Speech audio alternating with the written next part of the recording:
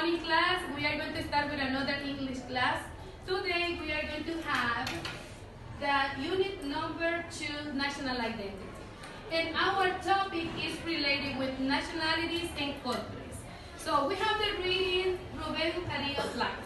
So we are going to explore the vocabulary that we have here in the reading, and then we are going to practice the reading with your participation. So we are going to repeat some lines in the reading, so we are going to practice. Listen please and repeat after me. Rubén was a famous Nicaraguan poet. Rubén was a famous Nicaraguan poet. He was born in Nicaragua. He was born in Nicaragua.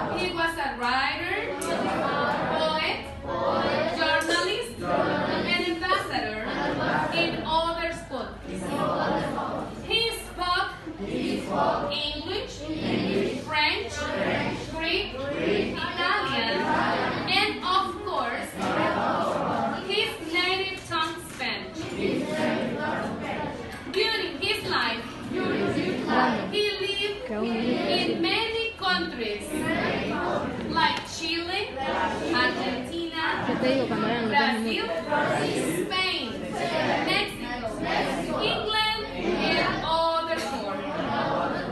Mexican, Chilean, and Brazilian citizens love his poems.